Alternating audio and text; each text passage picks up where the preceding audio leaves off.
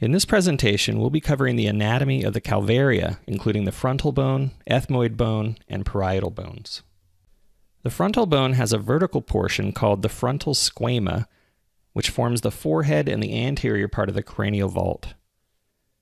Horizontal portions of the frontal bone form the orbital plates, part of the roof of the nasal cavity, and the greater part of the anterior cranial fossa.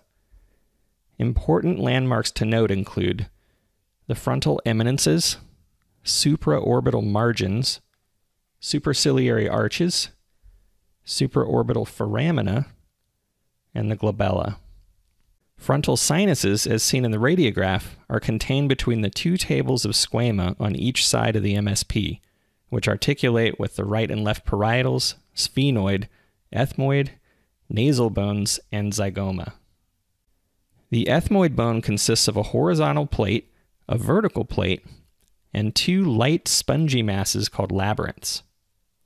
The ethmoid is located between the orbits and forms part of the anterior cranial fossa, the nasal cavity, orbital walls, and the bony nasal septum.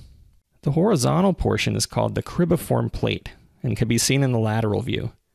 The cribriform plate contains numerous foramina for transition of olfactory nerves. The crista galli seen in anterior and lateral views, is a conical projection at anterior midline of the cribriform plate. The perpendicular plate makes up the vertical portion and forms the superior portion of the bony nasal septum.